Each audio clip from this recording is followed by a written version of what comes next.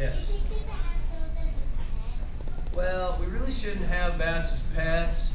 Um, you know, the way that I look at it is that God gave us bats so that bats could be out, like in Illinois, bats could be out in the wild catching mosquitoes and cucumber beetles and things like that.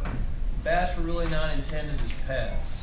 So when I take care of a bat, I don't treat it as a pet. I treat it as an animal that if it's sick or it's an orphan or it hasn't learned to fly yet or it hasn't learned to eat on its own yet, um, or it has a broken wing or whatever, I just basically it's my job to nurse it through that situation and then get it back out in the wild as soon as I can. Okay. And yeah, obviously I get attached to them and you know, and I cry when I let them go. But um, it's something where it's something I need to do because they weren't intended to be pets.